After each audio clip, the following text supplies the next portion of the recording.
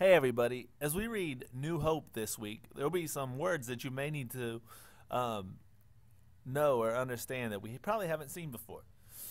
First word brisk. Brisk means quick and lively. So here I have a picture of the American flag that is blowing in the wind. So you would describe the wind as brisk. It's moving quickly and it's very lively. So when you say something is brisk, it's moving quickly. Next we have doe. A doe, D O E, is a female de- deer. So it's a girl deer. And here's a picture of a female deer. Next is leather. Leather is material made from animal skin.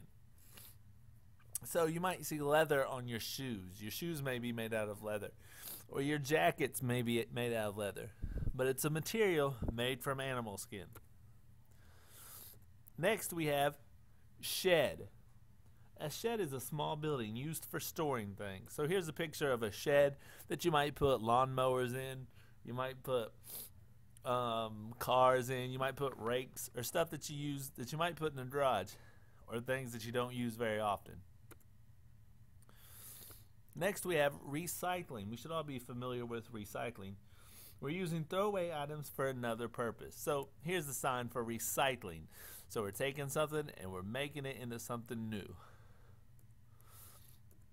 Next, we have fabric. Fabric is a type of cloth. So you may make a t-shirt out of the fabric, you may make a blanket out of a fabric. So it's a different type of cloth that you use to make stuff. Next word is citizens. Citizens are people who are born in a country or who choose to live in and become a member of a country. So everyone in this classroom is probably United States citizens. Because you were either born in the country or you moved to the country and became a member. You may be a, a citizen of another country as well. Next, we have adopted.